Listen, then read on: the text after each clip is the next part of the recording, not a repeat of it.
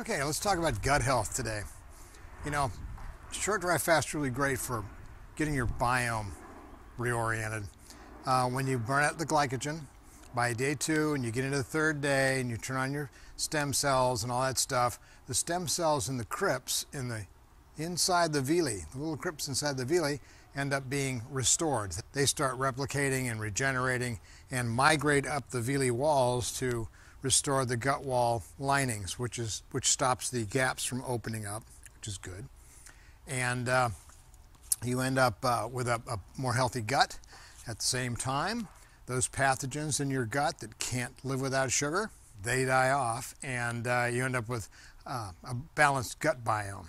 Now, the reason this is important is because a lot of the things that you require to stay alive and healthy and normal uh, are produced in the gut you know, we are a uh, symbiotic relationship with our gut biome. In fact, down here on the ground, there's more life in the ground and bacteria and biome in the ground than thousands of times the mammals on top of this earth. There's a relationship where they came first. You know, the first kingdom is the microbiome, the bacterial, and then the plant kingdom, and the animal kingdom. And the animal kingdom and the plant kingdom all rely on the biome that residing in the soil. Um, we get our biome from our mothers. We get our biome from our food.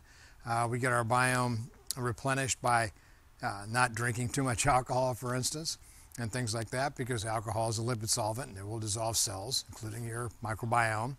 So the idea here is to do a short dry fast, maybe three days, four days, and you'll be amazed at how much better your digestive system is, how much clearer you think, and you'll probably kill some parasites and some other bacteria and stuff like that off. But what it really will do is it will balance your gut biome and it will make your digestive system work beautifully. And that's kind of the way we want to do this. So my suggestion is do a short dry fast. Short dry fasts are great. Short dry fasts are easier. You don't have to worry about refeeding and all that stuff. You just stop eating for two or three days, maybe four, yeah, the birds agree. Uh, and, uh, and there you go. It's very simple. Just stop eating for a few days and let your gut calm down. I know a lot of times if you've eaten some bad food or something like that, you can always take some activated charcoal to absorb any toxins from bad food. But mostly if you've overeaten or it's during the holidays, just take a day off from eating. Even that'll help. You know, fasting is great. Dry fasting is better than water fasting because water fasting doesn't have the benefits of dry fasting. It's three times faster than any of the benefits in water fasting. So, my suggestion try a short dry fast to get your gut back in shape.